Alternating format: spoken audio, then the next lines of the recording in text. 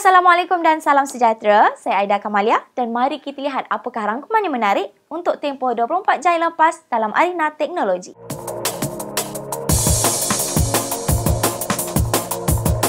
Huawei telah mula menghantar jemputan media ke acara pelancaran Huawei P20 yang bakal berlangsung pada 27 Mac ini.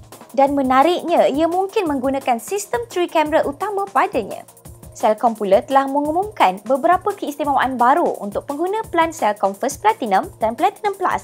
Antaranya adalah tiket penerbangan ke destinasi di ASEAN, tiket wayang percuma dan rebat dalam pembelian aplikasi peranti pintar. Opera 51 telah dilancarkan dan mempunyai kepantasan yang lebih baik berbanding Mozilla Firefox. Ia dikatakan 38% lebih pantas apabila diuji menggunakan sistem Windows.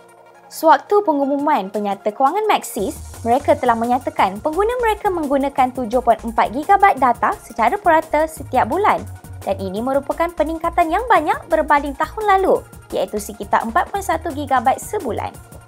Dan akhir sekali, bagi menjadikan internet lebih selamat, Google Chrome akan melabelkan laman web yang menggunakan HTTP sebagai tidak selamat bermula Julai ini. Pemilik laman web disarankan menggunakan HTTPS bagi menjamin privasi pengguna. Jadi sekian sahaja rangkuman yang menarik sepanjang 24 jam yang lepas. Saya Aida Kamalia untuk Amans.